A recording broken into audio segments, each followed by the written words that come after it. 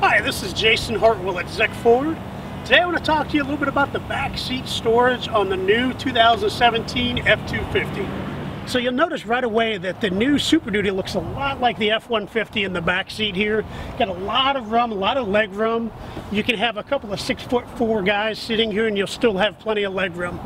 Another great feature they've added, uh, similar to the F-150, you've got the flat load floor now. So if you lift the seat up, you'll notice that the floor is completely flat. So you don't have the hump in the middle that you traditionally have with the truck.